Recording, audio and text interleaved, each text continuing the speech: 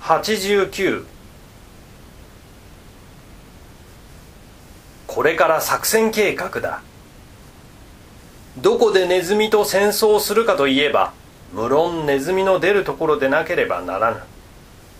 いかにこっちに便宜な地形だからといって一人で待ち構えていては点で戦争にならん。ここにおいてかネズミの出口を研究する必要が生ずる。どの方面から来るかなと台所の真ん中に立って四方を見回す。なんだか東郷大将のような心持ちがする。下女はさっき湯に行って戻ってこん。子供はとくに寝ている。主人は芋坂の団子を食って帰ってきて相変わらず書斎に引きこもっている。細君は細君は何をしているか知らない。大方居眠りをして山芋の夢でも見ているのだろう。時々門前を人力が通るが通り過ぎた後は一段と寂しい。我が決心といい我が息といい台所の光景といい紙幣の石箔といい全体の感じがことごとく悲壮である。どうしても猫中の東郷大将としか思われない。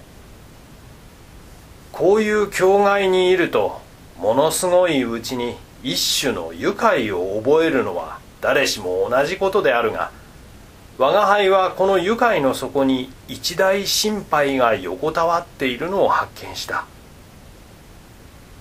ネズミと戦争をするのは覚悟の前だから何匹来ても怖くはないが出てくる方面が明瞭でないのは不都合である。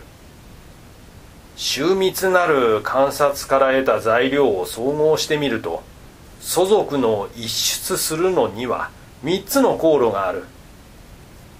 彼らがもしドブネズミであるならば土管を沿って流しからへっついの裏手へ回るに相違ない。その時は火消し壺の陰に隠れて帰り道を立ってやる。あるいは溝へ湯を抜く漆喰の穴より風呂場を迂回して勝手へ不意に飛び出すかもしれない。そうしたら釜の蓋の上に陣取って目の下に来た時上から飛び降りて一つかみにする。それからとまた辺りを見回すと戸棚の戸の右の下隅が半月形に食い破られて彼らの出入に便なるかの疑いがある。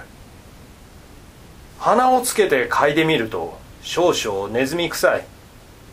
もしここから突貫して出たら柱を縦にやり過ごしておいて横合いからあっと爪をかける。もし天井から来たらと上を仰ぐと真っ黒なすすがランプの光で輝いて地獄を裏返しに吊るしたごとくちょっと我が輩の手際では登ることも下ることもできん。まさかあんな高いところから落ちてくることもなかろうからとこの方面だけは警戒を解くことにする。それにしても三方から攻撃される懸念がある。一区なら固めでも退治してみせる。二区ならどうにかこうにかやってのける自信がある。しかし三区となるといかに本能的にネズミを取るべく予期せられる我が輩も手のつけようがない。さればといって車屋の黒ごときものを女性に頼んでくるのも我が輩の威厳に関する。どうしたらよかろう。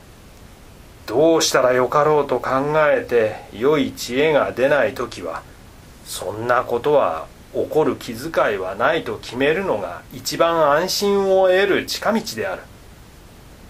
また法のつかないものは起こらないと考えたくなるものである。まず世間を見渡してみたまえ。昨日もらった花嫁も今日死なんとも限らんではないか。しかし婿殿は玉椿千代も八千代もなどおめでたいことを並べて心配らしい顔もせんではないか。心配せんのは心配する価値がないからではない。いくら心配したって法がつかんからである。我が輩の場合でも三面攻撃は必ず起こらぬと断言すべき相当の論拠はないのであるが怒らぬとする方が安心を得るに便利である。安心は万物に必要である。我が輩も安心を欲する。よって三面攻撃は起こらぬと決める。